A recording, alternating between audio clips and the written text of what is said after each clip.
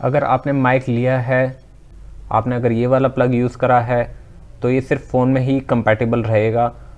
हर एक माइक के साथ एक अलग से अडेप्टर आता है, जो ये डबल आरएसएस और ये होता है ट्रिपल आरएसएस तो ये वाला अडेप्टर आप अपने डीएसएलआर कैमरा या कोई भी एक्शन कैमरा हो, उसमें ही कंपेटेबल रहेगा।